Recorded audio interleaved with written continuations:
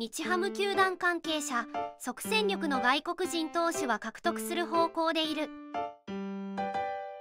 球団関係者の一人によれば加藤隆と上沢の動向がまだ決まっていないのでと前置きしながらも即戦力の外国人投手は獲得する方向でいるとこう続ける。ポスティングでメジャー移籍を目指す上沢にまだ条件提示などをしていないが国内 FA 権を取得した加藤隆にはすでに球団側から最大限の評価条件提示をしている。これで断られたら納得がいくという条件なので加藤隆もある程度満足してくれているはずです。あとは本人の他球団との交渉結果を待つだけですが球団としては最終的に残留してくれると信じている。となれば残りは噂はが流出した際の穴埋めそこを外国人またはトレードでなんとかというところです。おオスナか？まともに投げられないガンケルとかガントの代わりにでもするのか？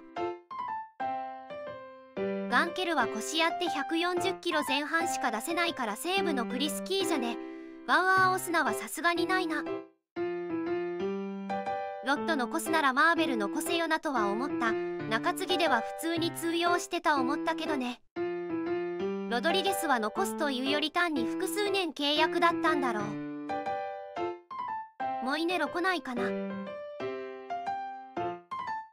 日ハムを中心に動画をまとめていきます。よろしければチャンネル登録高評価よろしくお願いします。